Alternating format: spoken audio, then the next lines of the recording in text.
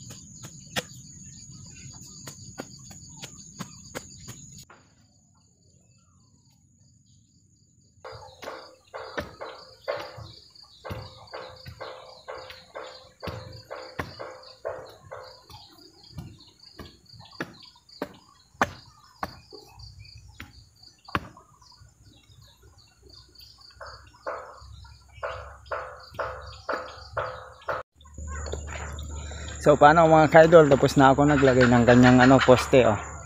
At lalagyan ko na ng ano dito sa taas pag ganun mga kaidol. Yan maglalagay na ako mga kaidol. Meron na akong kawayan diyan.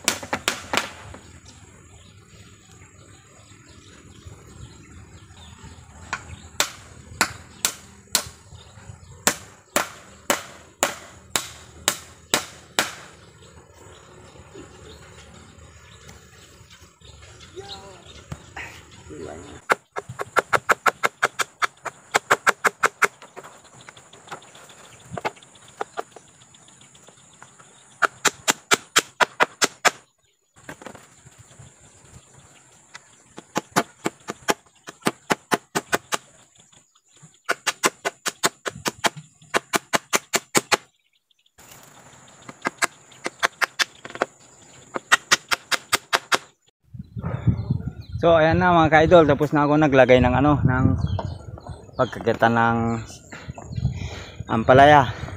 Hukain ko naman ngayon mga ka-idol para pagtaniman.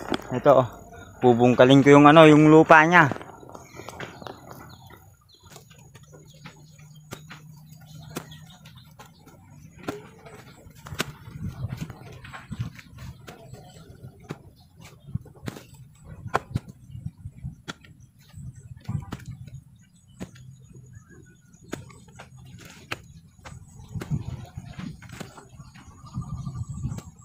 So mga ka-idol, ito magtatanim na ako ng ano ng ampalaya oh. Ito yung seeds ng ano ampalaya oh.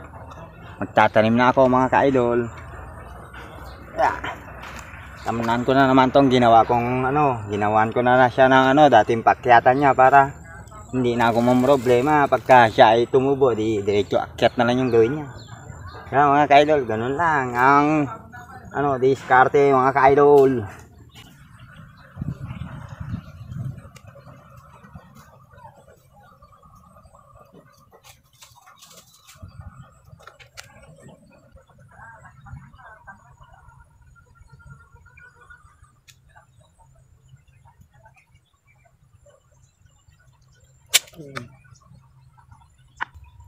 Ganito lang ang buhay mga kaidol. Tanim lang ng tanim para meron tayong anahin pagdating ng araw. Pagka namunga, di meron tayong gugulayin. Sipag-tsaga lang mga kaidol.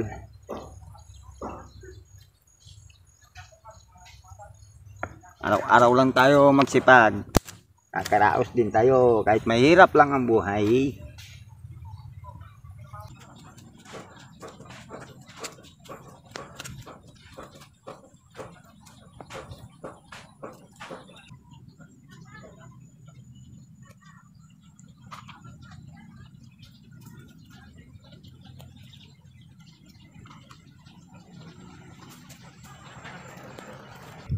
So ayan na nga mga ka-idol.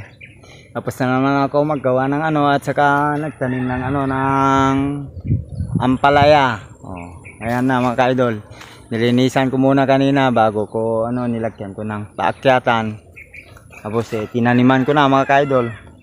Pagka yan ay tumubo na mga ka-idol, lalagyan ko na siya ng ano yung diretso paakyatan niya. Kaya ganyan na muna mga ka-idol. Antayin ko munang tumubo sipag-sipag, tiyaga lang mga ka-idol, araw-araw lang magsipag. So paano mga ka-idol? Hanggang dito na lang muna at maraming salamat sa inyo at mag-ingat kayo palagi mga ka-idol at God bless sa ating lahat mga ka-idol. Thank you mga ka-idol. Thank you, thank you.